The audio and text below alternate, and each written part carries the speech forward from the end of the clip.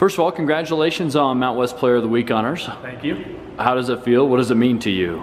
You know, it means a lot. Um, you know, obviously I was voted the preseason defensive player of the, of the year in the conference, and to be able to go out and get two Mountain West uh, Players of the Week, it just shows that I'm, you know, I'm going out and I'm proving, um, you know, that I can really be a, you know, a good player in this league, and it just feels good, and you know, I can attribute my success to my teammates and my coaches. So uh, it's just a good feeling.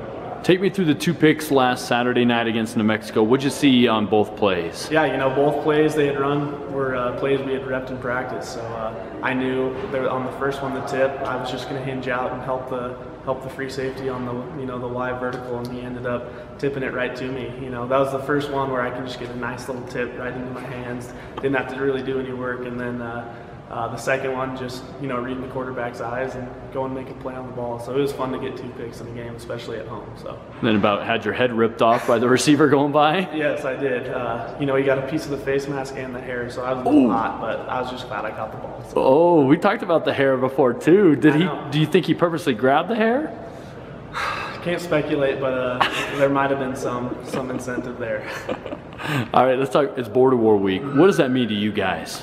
It means a lot. I know it means a lot for the fans, but for us, it's going out and playing a rivalry game that has big stakes in the in terms of the Mountain West Conference standings, playing in the playing in the Mountain West Championship. So getting this game is a huge game towards that step, and then just winning it is also big for uh, you know the state of Wyoming and that bronze boot. So uh, it's just a huge game for us.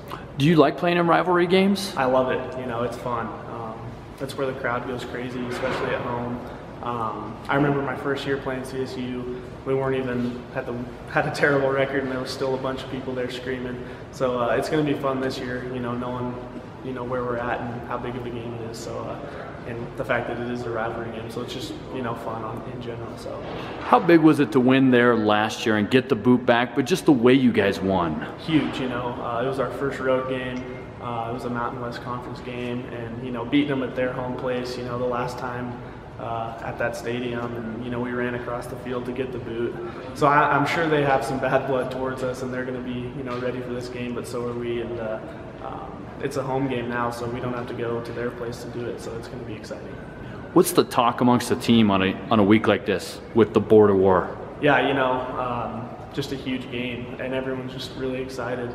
Uh, rivalry game at home, you know, with big implications. So uh, that's pretty much it. And, you know, it's uh, we're not going to have to have the coaches fire us up this week. You know, we're going to be fired up anyway. So it's just, it's going to be a fun week of practice and obviously a fun game. You're a Colorado guy. Is there something behind this for you guys from that state and, and maybe not being recruited as much or not going there? You know, you could pick any Colorado guy on this team and he'd say, you know, those Colorado schools, you know, we kind of have a little bit of bad blood towards them because none of them wanted us, and now we're here having success.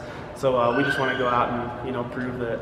Um, you know we're valuable players, and you know getting a win against a Colorado school that didn't recruit is always uh, always feels pretty good. So, lastly, what about this Colorado State offense? What do you kind of anticipate, especially going up against a, a quarterback like Stevens, a wideout like Gallup? Yep. Uh, I know they've got two good running backs. What are your thoughts on this CSU offense? Yeah, they're a big play offense. You know, Gallup is a you know one of the best receivers in the nation, and uh, you know when when that guy gets your attention, they can run the ball with two really good running backs. So uh, you know Coach Bobo is a you know a, you know he was at Georgia. He knows how to knows how to run an offense. So it's the strength of their team, and uh, you know us being able to stop them is going to be the biggest key. And I think uh, pressuring Stevens is going to be a really uh, critical key. So that's where you know Carl, Big Carl comes in. So it's going to be a fun game. So. You had two picks. He's had two picks. Mm-hmm. What have you thought of Carl's interception so far this year? Yeah, you know, he got that pick, and I knew he had tied me, so I had to go out and get two to separate a little bit. But uh, you know, he's he's an amazing player, and he, him uh, pressuring quarterbacks makes life a lot easier on us. So uh, we're just really happy to have him. So. Lastly, what would be your message to Wyoming fans gearing up for the border war this week? Everyone, come on! You know, uh, sell the place out uh, and be loud. So uh, that's what we need when you do that, we'll do the rest. So.